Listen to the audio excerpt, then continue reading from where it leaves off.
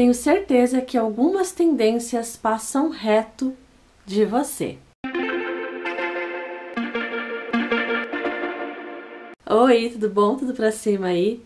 Gente, o vídeo hoje eu vou falar da minha opinião sobre algumas tendências de eu não ter aderido a elas. Não fez a minha vontade, não fez o meu estilo, tá?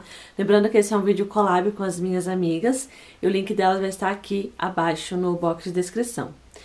É uma tendência, gente, que eu vejo que já vem de muito tempo, né? E eu vejo ainda algumas pessoas fazendo isso. Eu até tenho algum vídeo ou outro aqui de é, fazendo maquiagem que eu faço isso, mas eu explico um pouco, mas não é nada assim muito meu estilo. É iluminar aqui a pontinha do nariz. É, dependendo do formato do nariz da pessoa, fica ok, mas dependendo do formato do, do nariz, não fica tão legal. E quando eu cheguei a iluminar essa ponta do nariz aqui, foi um iluminador bem sutil, então nada muito forte. Mas eu vejo que muitas meninas gostam desse efeito e eu já não curto não.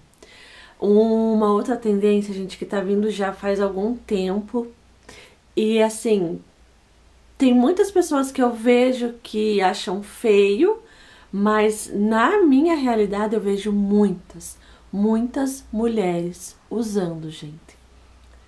Os cílios, é, a colocação de cílios, né, a extensão de cílios, não a extensão em si, mas que coloca aqueles cílios, mas coloca de uma forma tão exagerada, gente, é sério. Parece que a pessoa fica assim, ó, não consegue abrir o olho, sabe? Fica é, muito, muito pesado, muitos cílios, gente. Eu não sei o que está acontecendo. Por que que eu sei que a ideia de colocar esses cílios é para facilitar a vida, né, que você tipo acorda já pronta, ciliuda e tal. Mas no meu ponto de vista é muito exagerado. Tem uma mulher que eu vi, que eu conversei com ela e eu vi e que eu achei lindo, mas assim, era algo bem discreto que realmente dava aquela impressão do acordei assim, sou ciliuda assim. Ela tem só no canto externo e não é aquele cílio preto. O dela não, o dela era um tom. Diz ela que a moça não coloca preto, é marrom aqui no, no canto dela.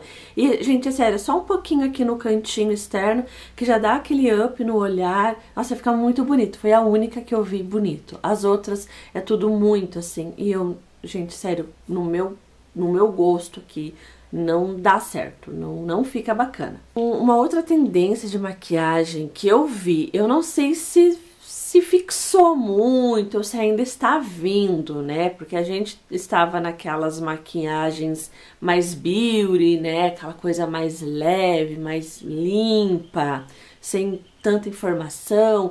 E daí eu comecei a ver as meninas postando já umas maquiagens muito estilo nossa, quando eu era adolescente, me lembra muito Ever Lavigne, que é, era aquele lápis preto aqui, tudo muito escuro. Aí às vezes estava aquela suada, dava aquela borrada, gente. Isso era uma maquiagem que me lembrava muito a adolescência, essa época. Uh, algo mais punk, assim, eu não diria nem gótico, talvez algo um pouco mais punk. Mas na época da minha adolescência era assim que a gente falava, né? Mas eu vi algumas meninas postando esse tipo de tendência. E eu hoje, pra minha beleza e pra minha idade, né? Temos que levar isso em consideração, a idade da pessoa que vos fala. Então eu já, tipo, passo batido um estilo de maquiagem assim, tudo muito pesado, tudo muito carregado. Eu Ultimamente, gente, nem tenho passado lápis aqui embaixo. Quando eu quero, só passo uma sombrinha marrom e tá ótimo. Hoje eu entendo que pra minha beleza e tal, o menos acaba me favorecendo mais, né? Uma outra tendência de maquiagem também que eu já tô vendo ela já, acho que de uns dois anos pra cá e eu continuo vendo muitas mulheres assim, é algo que me dá um pouco de gastura. Normalmente, as pessoas têm, gente, isso aqui, ó. Faz um, um Vzinho aqui. né? Faz esse Vzinho. O arco do cupido faz o Vzinho. E o que eu vejo muito, gente, mas muito mesmo, é as pessoas ignorando essa entradinha, esse Vzinho.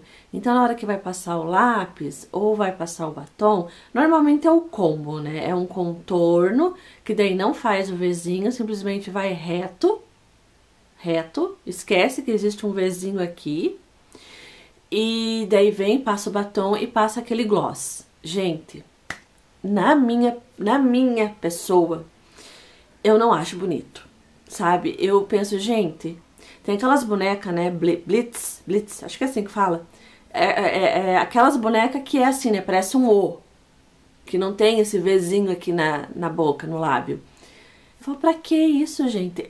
Eu sei que existem pessoas que não têm esse Vzinho, mas é raro. É raro. A maioria das pessoas tem o raio do Vzinho no lábio e ignoram o vizinho, gente.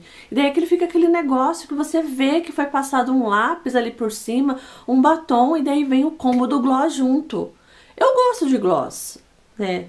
Não sou tão adepta ao gloss, mas eu gosto, assim, um, um gloss mais sutil me agrada, não aquele gloss muito babento, não gosto. Aquele gloss mais sutil me agrada. Mas não vamos ignorar o vizinho do lábio? Eu não sei. Por que, que as pessoas querem tanta beiça que até ignoram o vizinho do lábio, gente? Isso é uma coisa que me incomoda bastante. Eu sei isso me incomoda. Eu acho que você tem que considerar o seu vizinho do lábio.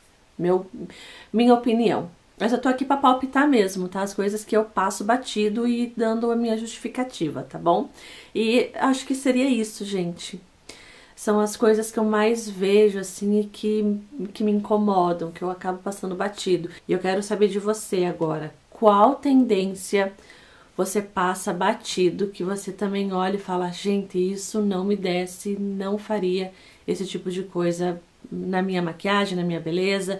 Pode ser em relação à moda também, vestuário, tá? Vamos trocar umas ideias aqui. Espero que você tenha gostado do vídeo e, por favor, como eu disse, essa é a minha opinião. Eu vou respeitar a sua. Se você me falar que você gosta de tudo isso que eu disse que eu não gosto, se você falar para mim que gosta, tá tudo bem. É o seu direito de fazer uso e se sentir feliz, tá bom? Eu vou te aguardar no próximo vídeo. Beijo, beijo. Tchau!